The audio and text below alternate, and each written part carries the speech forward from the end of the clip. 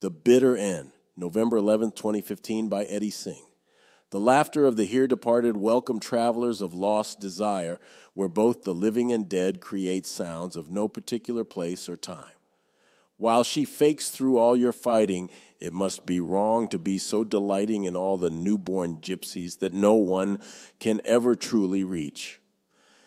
We walk through winter drunk from the pools of fallen fun? Do you lust for every liar? Do you get lost when you start to come, when you're undone with all the indecent and bittersweet roads we've yet to pave? I guess it seems that she found me. The pollen fell, and I believed that Zarathustra was only dining on her young. I guess the lake only reaches so far as you fall under all your scars and hold your breath and hope that you will finally make it through. It seemed too much to understand as we wrapped up all we planned and as we fell down through all we've ever been. We crossed all the thresholds, tripped through each drop of time as the band grew still, water into wine, with all that they were certain they hoped not confess. She saw her Kennedy, she tempted sin, she was incredible. The veil wore thin as the innocent met music. In what was brutal, each note a crime. Some were green, some were sage, and now you know how much was waged when it mattered.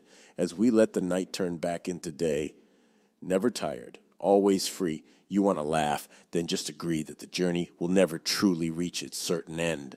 For if that's bitter, then it's true that the end will be here for you ushered in by the east wind dunes from underground. Take the tempted, they aren't few, and you know it's all because of you when the fallen pick themselves up for just one more crime. So, yes, they're trying to find some cause.